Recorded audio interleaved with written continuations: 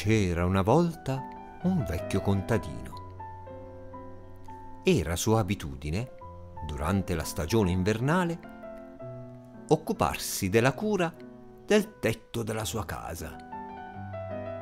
Per far ciò, però, necessitava di un buon numero di pietre da posizionarvici sopra in alcuni punti strategici.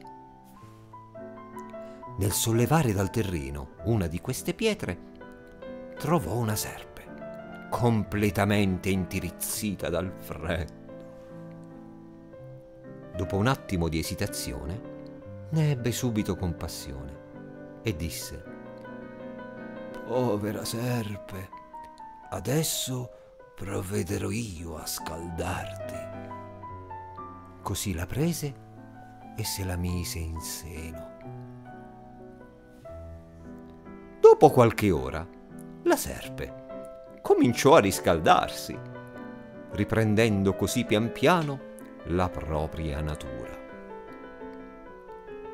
Quando si accorse di trovarsi in seno al contadino, sibilò.